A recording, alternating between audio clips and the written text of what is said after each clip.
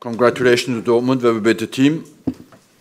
We were not that, uh, we had a disappointing performance tonight, and uh, overall, uh, the victory is normal.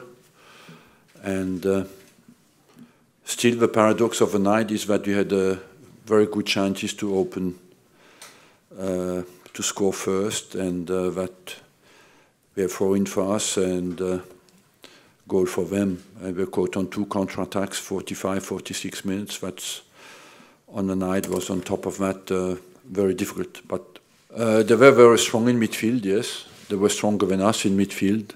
Uh, I agree with that. Uh, but uh, it's very difficult on the night to go into any individual uh, assessment of any player because I think we, as a team, we were not at the requested level tonight.